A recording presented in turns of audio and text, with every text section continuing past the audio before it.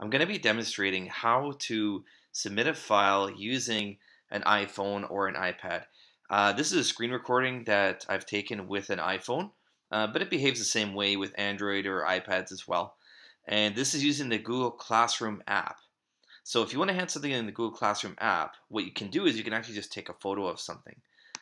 So I'm going to be going into my first assignment here. And inside my first assignment, uh, you can see right here, I, I'm going to click on Add Attachment at the bottom.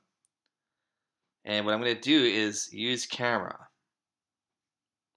Now, I may ask for some permission. I'm going to click OK. I'm going to take a look at the work that I'm going to submit to my teacher. You know, and try and position it the best way. I, I think I'm going to have to return the, the camera again to fit it in there properly. Take your photo. Okay, and then click on Use Photo and it's going to take a second or two.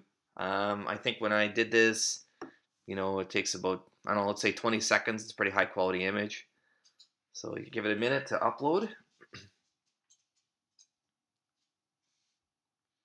Almost there.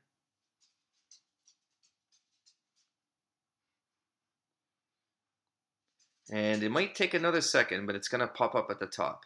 There we go.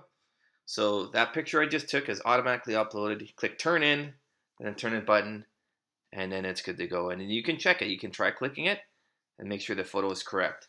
But if you're using the Classroom app, this is a really easy way of handing in uh, documents.